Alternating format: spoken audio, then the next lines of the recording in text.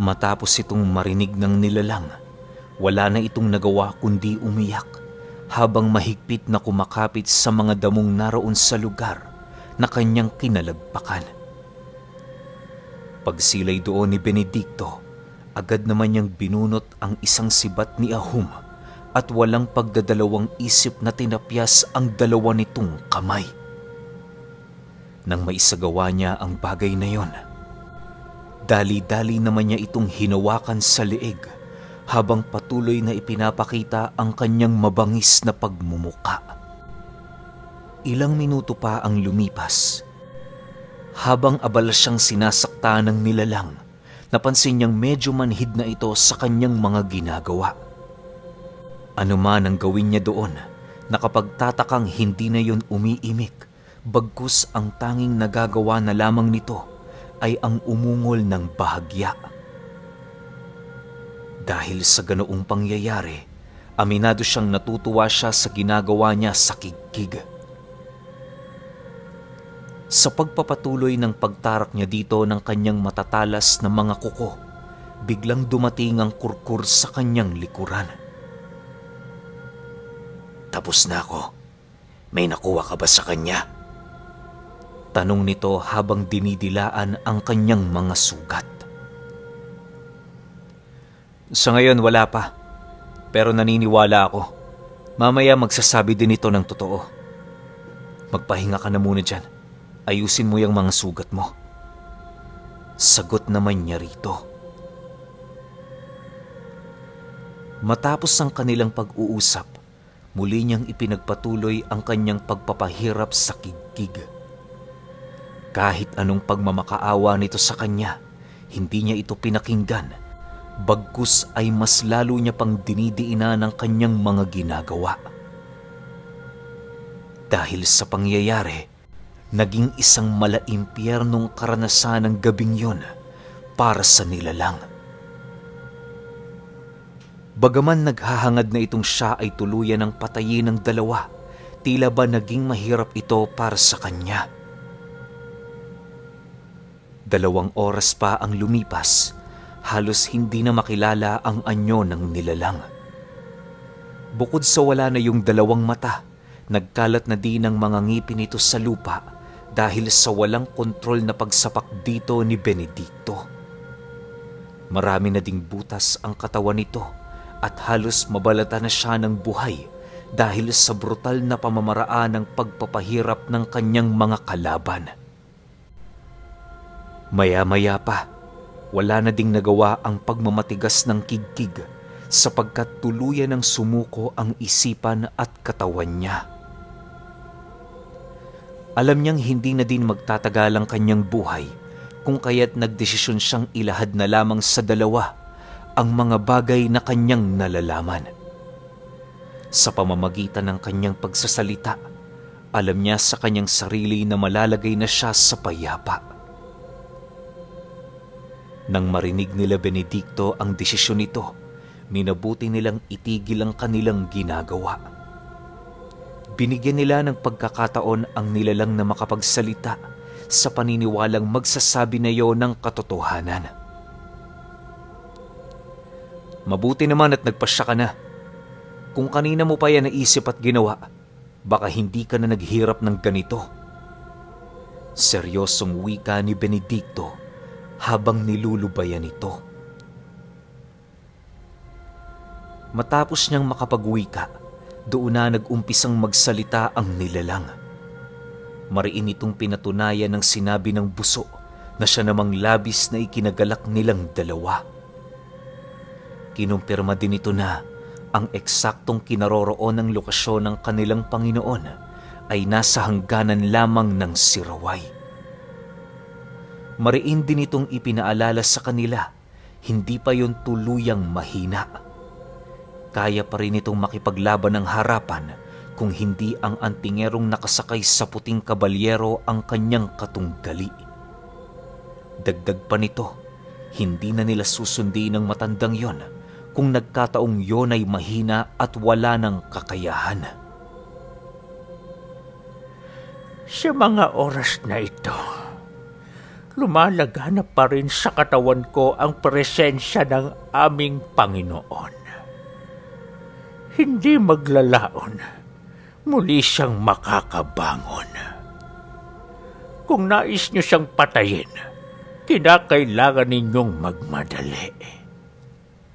Nang hihinang wika ng kigkig. Nang makuha na nila Benedikto ang lahat ng kinakailangan nilang detalye, hindi na din nila pinatagal pa ang buhay ng nilalang. Bagaman nasa magkaibang panig sila, hindi niya pa rin napigilan ang kanyang sariling maawa. Matapos nilang paslangin ang kigkig, bumalik sila sa pinagpupugaran nito upang sunugin ang naiwan nitong tahanan. Ginawa nila yon nang sa gayoy tuluyang malipol ang pinagmumulan ng salot sa lugar. Inilibing din nila ang iilang mga itlog ng buwayang nagkalat sa loob ng bahay, gawa ng alam nila sa kanilang mga sarili na hindi na yon mabubuhay. Sa pagsapit ng bukang liwayway, nagpatuloy ang kanilang paglalakbay. Habang papalapit sila sa hangganan ng Shokon, unti-unti nang lumilinaw ang eksaktong kinaroroonan ng matanda. Mataas na din ang kanilang kumpiyansa sa kanilang mga sarili na sa oras na masipat nila ang pinagpupugaran nito, magagawa na nila yung mapaslang. Sa pagpapatuloy ng kanilang paglalakbay, matagumpay na silang nakalayo sa lugar ng kigkig. Pagsilay nila sa paligid, bumungad sa kanila ang napakagandang tanawin na siyang nagbigay ng kapayapaan sa kanilang mga sarili. Habang pinagmamasdan nila ang lugar, wala silang nararamdaman at iniisip kundi ang mga mabubuting alaala ng nakaraan. Sa tingin mo, kapag natapos na natin ang sakripisyong ito, magiging ligtas na kaya ang mga taong nasa baryo? Tanong sa kanya ng kurkur. Oh, yun lang naman ang hinihiling natin, di ba? Kaya kung gusto mong makita ang masayang bukas, gawin mong lahat ng pag-iingat. Magpalakas ka pa, nang sa gayoy sa pagharap natin sa matanda, tayo ang tatapos sa kanya. Sagot naman ni Benedicto. Nang marinig ito ng kurkur, Tumawa lang naman ito habang unti-unting hinahayaan ang kanyang sarili na bumagsak sa napakalambot na mga damo. Paghiga nito, sumunod na din siya para naman kahit papaano magawa niyang makapagpahinga. Kinahapunan, muling nagpatuloy ang kanilang paglalakad. Mas maingat na sila kumpara noong una gawa ng tatlong bundok na lamang ang kinakailangan nilang baybayin upang marating ang hangganan ng siraway. Sa pagsilay nila sa isang matarik na bundok na naroon sa kanilang harapan, maigi nila yung pinakiramdaman. Inaasahan na nila Benedikto na merong baryo ng mga aswang sa lugar na yon, alinsunod sa inihabili ng kigkig. Matapos nilang masipat ang paligid, pinili nilang dahan-dahan ng umusad. Habang binabagtas nila ang daan, wala silang ibang nasisilayan sa lugar kundi ang paggalaw ng mga sanga ng puno. Ilang minuto pa ang lumipas, laking gulat na lamang nila nang masipat nila ang mga ulap sa itaas ng bundok na biglang kumulimlim. Sa isang iglap, bumuhos ang napakalakas na ulan na siya namang labis nilang ikinagulat. Maniwala kayo o hindi, ang ulan na nasisipat noon nila Benedikto bumubuhos lamang sa tuktok at sa paana ng bundok. Sa kanilang kinaroroonan noon, tanging pagsimoy lamang ng napakalamig na hangin ang kanilang nararamdaman. Maya-maya pa, nag-umpisa na ding magkaroon ng kulog at kidlat sa bundok na animoy merong magaganap na dilubyo doon. Dahil sa pangyayaring yon, hindi nila maiwasang magdalawang isip na tumungo. Bukod sa wala silang dalang mga gamit, labis na nang hihina ang alaga ng kurkur sa tuwing ito ay nababasa ng tubig ulan. Sa pagpapatuloy ng kanilang pagmamasid, lumapit sa kanya ang binatilyo habang nababahalang nagsasabi ng, Sa tingin mo, Kagagawan ba ito ng kalikasan o merong nagmamanipula sa dilubyong ating nasisilayan? Nang marinig ni Benedicto ang sinabi nito, bigla naman siyang napaisip sa mutyang maaaring magtaglay ng ganoong abilidad. Kung tama ang hinala ng kurkur, paniguradong merong antingero sa lugar na gumagawa ng pangyayaring yon. Maaaring nasipat na sila nito kung kaya't nagpa siya yung gumamit ng kanyang abilidad. Habang pinagmamasdan niya ang bagay na yon, lumitaw sa kanyang tabi ang gabay niyang malalim ang iniisip.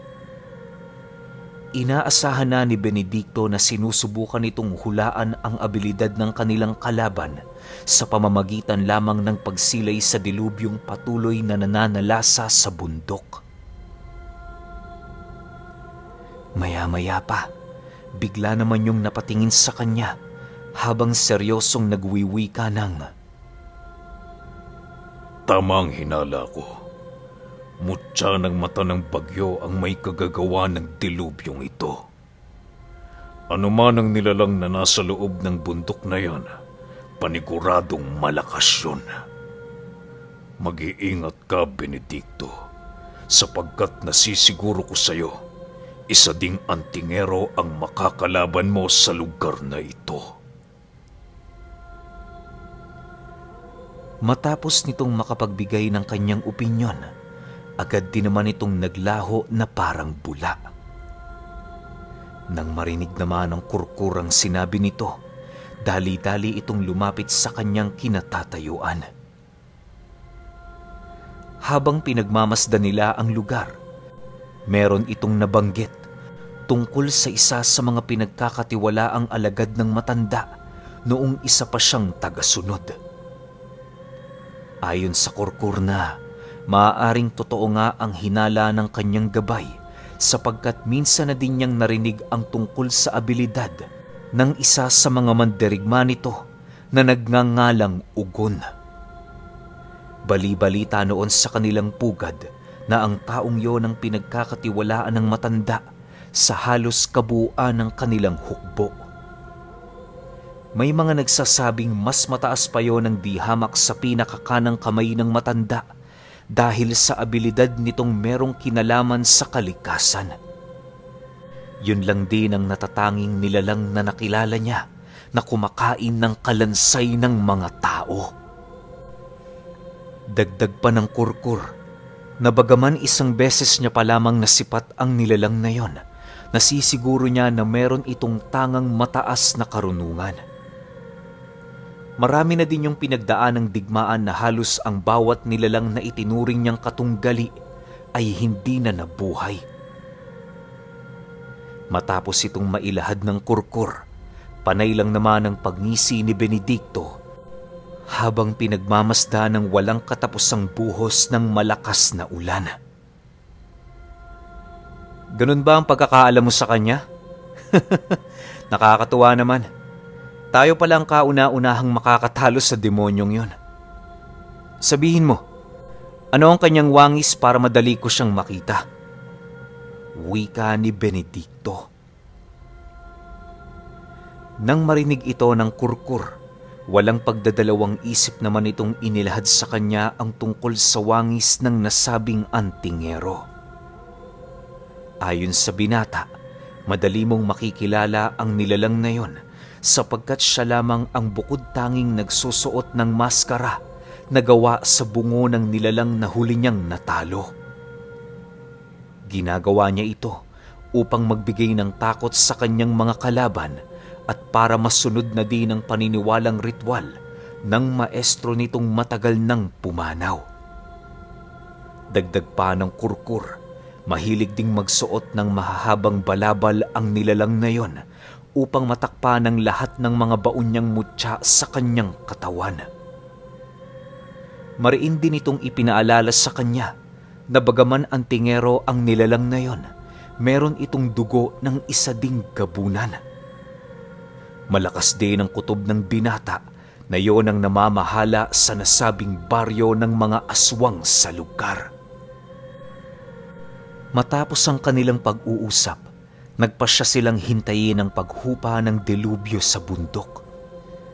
Wala silang pakialam kung hanggang anong oras ito matapos sa kadahilan ng hindi naman sila naghahabol ng oras. Kinagabihan, patuloy pa rin ang pagbagsak ng napakalakas na ulan.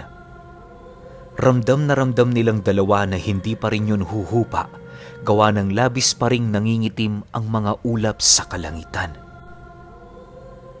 Nang dumating na sa puntong hindi na makapaghintay si Benedicto, nagpasya siyang pasukin na ang bundok.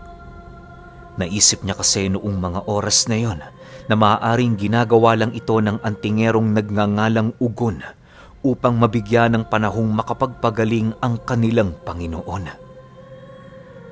May posibilidad din kasing ang turing nito sa kanila ay mga mersenaryo gawa ng aminado sila Benedikto na hindi pa sila nito nakikilala. Ilang minuto pa ang lumipas, walang nagawa ang kurkur kundi ang sumang-ayon. Upang hindi manghina ang unlaun, nagpasya silang iwan yun sa lugar na hindi naaabot ng bagyo. Kampante naman sila noon kahit papaano, gawa ng may tiwala sila sa kanilang mga abilidad. Nang tuluyan na silang makapasok sa paanan ng bundok, ramdam nila ang labis na lamig sa paligid. May mga parte din ng bundok noon na meron ng gumuhong lupa dahil sa walang patid na pagbuhos ng malakas na ulan. Sa pagpapatuloy ng kanilang pagbagtas ng daan, wala silang nakikita sa lugar kundi ang mga punong halos mabuwal na sa kinatitirikan ng mga ito. Pagdating nila sa kalagitnaang parte ng bundok, bigla namang nanlaki ang kanilang mga mata nang mapansin nila noong tumila na ang ulan. Pagsilay nila sa paanan nito, doon nila tuluyang napagtanto na doon lamang sa parting yun nananalasa ang napakalakas na dilubyo. Pag-ikot ng kanilang mga paningin sa buong paligid, nasipat nila ang walong nakatirik na kubo sa pinakagitnang parte ng bundok.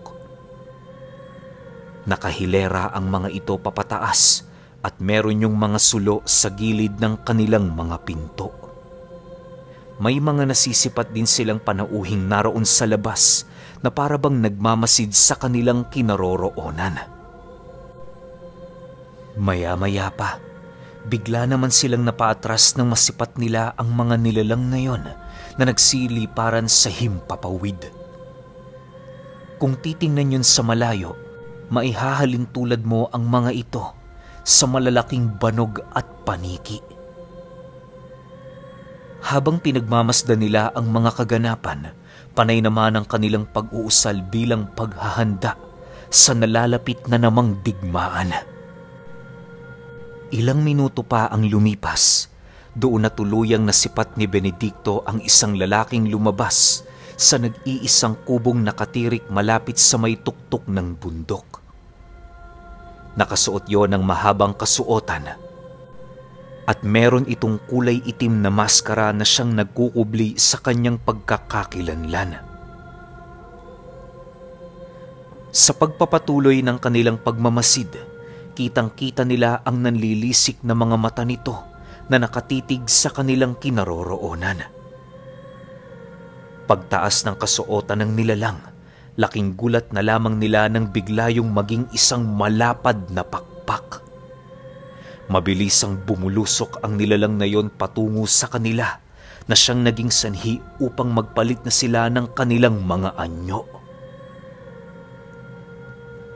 Nang mapagtanto ni Benedicto na hindi na nila maiiwasan ang pag-atake nito, buong lakas naman niya yung sinalubong. Pagsalag niya sa matatalas na kuko ng nilalang, dali-dali naman niya yung sinapak, subalit sa kasamaang palad nagawa siya nitong maiwasan. Matapos ang pangyayaring yon, nasipat niya ang antingerong umatras ng bahagya habang unti-unti nitong itinataas ang dalawang kamay sa ere. Dahil sa ginawa ng nilalang, kung kaya't nagkaroon siya ng pagkakataon para utusan ng kurkur. Inilahad niya dito nakaharapin ng iba pa nitong mga kasama nang sa gayoy madali nilang matapos ang digmaan. Nang marinig naman ito ang kanyang sinabi, mabilisan niyong kumaripas ng takbo patungo sa kinaroroonan ng mga aswang. Hindi na ito nag-alangan pang makipaglaban Gawa ng ramdam nito ang ipinapamalas na katapangan ni Benedikto. Sa pagpapatuloy ng ganoong pangyayari, nabalot ng sigaw at mga pag-aangil ang bundok. Si Benedikto noon, aminadong halos kapantay na ng kanyang mga tinatangang mutya ang antingerong nagngangalang ugon. Walang habas siya nitong pinapaulanan ng pag-atake sa iba't ibang direksyon habang patuloy yung humahalakhak. Si Benedikto naman nananatiling matatag sa pagsalag habang patuloy na pinag-aaralan ang pag-atake ng kanyang kalaban. Bakit dadalawa lang kayong mercenaryong inutosan ni Dadoy? Ubus na ba ang lahat ng mga kasama ninyo? Masayang tanong ni Ugon. Matapos nitong makapagsalita, buong lakas naman itong inasinta si Benedikto ng mga pinaghalong abilidad ng mutya. Delubyo, kidlat, bato, at kung ano-ano pa ang walang habas na tumama sa kanya. Kung nagkataong walang kabal at kalasag itong si Benedikto, maaaring napaslang na siya ng antingero. May mga pagkakataon ding sinusubukan siya nitong balutan ng tigalpo at mga pamako. Subalit mabilis siyang nalulusaw bago pa man lumapat sa kanyang katawan. Ilang minuto pa ang lumipas. Unti-unti na siyang kinikilala ng antingero bilang kapantay ng lakas nito. Bagaman ramdam na niya ang pag-iingat ng nilalang, minabuti niya pa ring pag-aralan ang lahat ng mutya nitong tinatangan. Maya-maya pa, pansamantalang naudlot naman ang kanilang pagtutuos nang marinig ni Ugon na sumagot si Benedikto ng Kanina pinag-aaralan ko ang mga pag-atake mo. Ramdam ko din ang mga mutsyang napapaloob sa katawan mo. Matanong lang, walo ba ang mutsyang iyong pinangangalagaan? Pansin ko kasi na maliban sa mga dilubyo at iba't ibang mga bagay na makikita sa gubat na ito, wala ka nang kayang iba to. Kung tapos ka na, maaari bang ako naman? Nang marinig ni Ugo ng sinabi nito, bigla naman yung nag-angil na parabang labis itong nainsulto sa mga binitawang kataga ni Benedicto. Halos ilang minuto din yung natigilan sa kanyang kinaroroonan bago yun magpasya na sumagot sa kanyang katanungan. Sinasabi mo ba yan para galitin ako? O para patayin kita ng diretso? Nag-aangil na sagot ng antingero.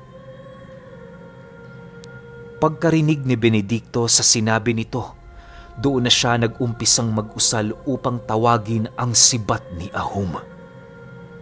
Sa paglitaw ng nagliliwanag na espiritual na sandata sa kanyang kamay, kitang-kita naman niya ang labis na pagkasindak ni Ugon.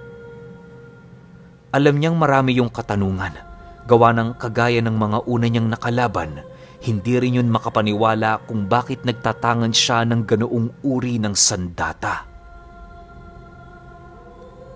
Maya-maya pa, bigla naman niyang ibinuka ang kanyang malalapad na pakpak at kasabay nito ang mabilisang pagbulusok ni Benedikto patungo sa kinaroroonan ng antingero.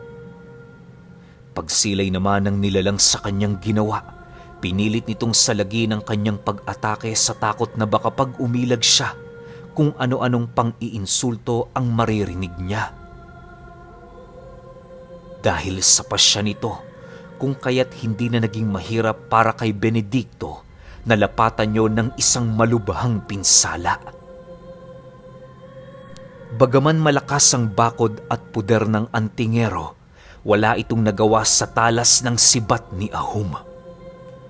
Sa pagtagos ng kanyang espiritual na sibat, lahat ng mga aswang sa paligid ay labis na natigilan dahil sa pagkagulat. Habang pinagmamasdan nila ang dalawang nagduduelo, kitang-kita nila ang katawan ng kanilang pinuno na unti-unting iniaangat ni Benedicto sa lupa. Bagaman nagpupumiglas pa ito, wala na yung sapat na lakas para makatakas sa tiyak na kamatayan. Magaling ka sana, pero ang pagiging hambog mong nagpahamak sa'yo. Anong akala mo? Sa'yo nakaikot ang mundo? Pasensya ka na, pero masakit mang sabihin, hindi ko pa ginagamit sa'yo ang kabuuan ng lakas ko. Kanina, kung nais lang kitang patayin, malamang ginawa ko na. Pero dahil sa hindi pa ako nasisiyahan, kaya pinili kong makipaglaro pa. Bulong ni Benedicto habang patuloy na umaatungal ang antingero. Nang marinig nito ang kanyang sinabi, nagpumilit pa yung umatake. Subalit dahil sa tindi ng pinsalang kanyang natamo sa sibat, kung kaya't hindi naglaon tuluyan ng pinanghinaan ang kanyang buong katawan. Pagsilay ni Benedicto na hindi na yon makakalaban, inutusan niya ang kanyang sibat na maglaho. Sa pagbagsak sa lupa ng nilalang, panay naman ang paghawak nito sa parte ng kanyang katawan kung saan tumarak ang sibat. Bagaman walang pisikal na pinsala ang katawan ng antingero, kitang-kita ni Benedicto ang pagkabutas ng kaluluwa nito. Ilang minuto pa ang lumipas, paulit-ulit naman siyang ininsulto ng nilalang na para bang meron pa itong lakas na lumaban. Dahil sa mga masasamang kataga na kanyang naririnig, kung kaya't nagpa siya siyang gamitin ang aral ng kanyang ina na napapaloob sa libreta. Habang binubuklat niya noon ang libreta, bigla namang nagsipulasan ang mga aswang sa paligid at kasabay nito ang pagtila ng delubyo.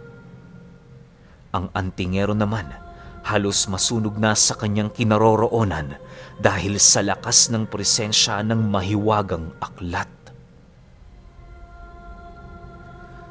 Sa pagbigkas ni Benedicto ng mga buhay na salita, Dumukot siya ng tatlong elemento sa lupa upang bigyan ng pisikal na anyo ang mga bathalang napapaloob sa kataga. Okay. Um, grabe, hindi ko na-expect kasi ang next episode nito finale na eh. Pero parang wala pa dun sa part na pupuntahan niya na yung matandang katunggali ng nanay niya. Ano kaya mangyayari, no? Para wala na tayong maraming tanong, tsaka para di na tayo mag-isip, Total naman, finale na. Sunod na kagad natin yon. Pahintay na lang ako ha. Salamat.